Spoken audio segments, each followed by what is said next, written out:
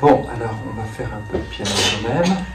Hein bon, voilà, allez, couche. Bon, alors Adèle, tu vas improviser une valse en mode dorien, en ré dorien, c'est facile.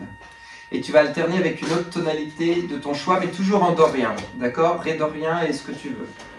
Vas-y, pas trop vite. 1, 2, 3.